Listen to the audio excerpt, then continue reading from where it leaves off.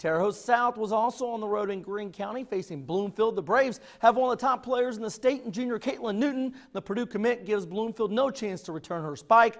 Bloomfield has six seniors. One is Kylie Moody. She splits the defenders for a point. South just kept going to Newton. Braves opponents are going to see a lot of this the next two years. Man, is she good. Behind Newton, Terre Haute South opens the season with a 3-0 win at Bloomfield.